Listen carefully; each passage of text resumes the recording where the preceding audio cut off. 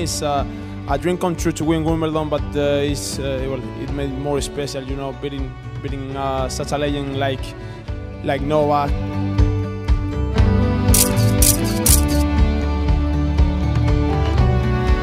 If somebody would have told me this before the tournament, I, I would never believe it. Grass wasn't my favorite surface before, uh, but uh, I changed my mind a bit.